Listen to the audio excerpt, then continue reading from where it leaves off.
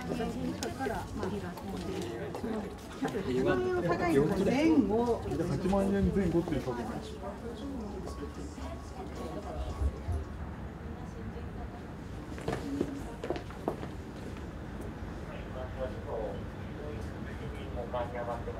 海外の方も非常に多いんですね。で、えー、そういったお客様にお買い求めいただくと使っていただくということを主眼に置いております。それともう一つはニトリがこれから海外にどんどん出店していきます。そういった意味のブランドのスタートと作りのスタートっていうことですね。